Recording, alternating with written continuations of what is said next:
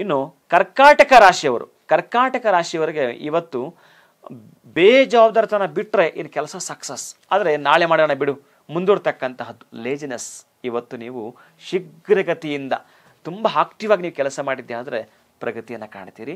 ಆದರೆ ನೀವು ಮಾಡಬೇಕಾಗಿದ್ರೆ ಸಹೋದ್ಯೋಗಗಳಂತಿರ್ತಾರಲ್ಲ ಒಮ್ಮೆ ಗಮನಿಸ್ಕೊಳ್ಳಿ. ಅವರಿಂದ ಸ್ವಲ್ಪ ಎಡವಟ್ಟಾಗ್ತಕ್ಕಂಥದ್ದು ಅಥವಾ ನಿಧಾನವಾಗ್ತಕ್ಕಂತಹದ್ದು, ಮಂದವಾಗ್ತಕ್ಕಂಥ ಸಾಧ್ಯತೆ. ಅದು ಬಿಟ್ಟರೆ ನಿಮಗೆ ಇವತ್ತು ಯಾವುದೇ ಪರಿಹಾರವಿಲ್ಲದೆ ದಿಗ್ವಿಜಯವಾಗಿ ನೀವು ಹೊರಡಬಹುದು.